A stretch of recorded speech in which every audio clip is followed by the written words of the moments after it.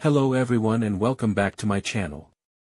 My name is Henry, and you are watching on the Royal Hive, the channel where we celebrate the births and lives of historic royal figures from around the world and across time. If you like this kind of content, please consider liking and subscribing for more. If you would like me to do a deep dive on one of your favorite royals, leave a comment down below. For those who have subscribed before, thank you and welcome back. If you are celebrating your birthday today, or if you know someone who is, I wish you and them a very wonderful day. We have two historic royal birthdays to celebrate, our first celebrant being Louise Elizabeth d'Orleans who was born today in 1709 to parents Philippe II, Duke of Orleans, and his wife, Françoise Marie de Bourbon. She was Queen of Spain through her marriage to King Louis I, the union being childless. Their reign as monarchs were the shortest in Spanish history, ending in the death of Louis seven months after he ascended the throne. Louise Elizabeth caused many scandals during her time in Spain, including showing her intimate parts to courtiers and using her own clothes to clean the windows and floors of the palace.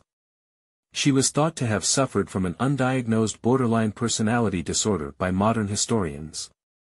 After the death of her husband, her marriage to him was annulled and she moved back to France where she died at the age of 32 on June 16, 1742.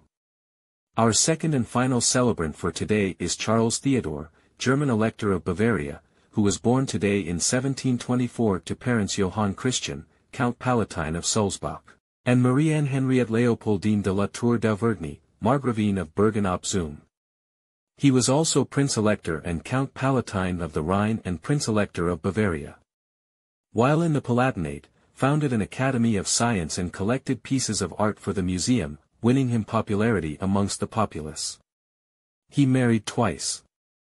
His first wife was Countess Palatine Elizabeth Augusta of Sulzbach, their only son dying a day after his birth.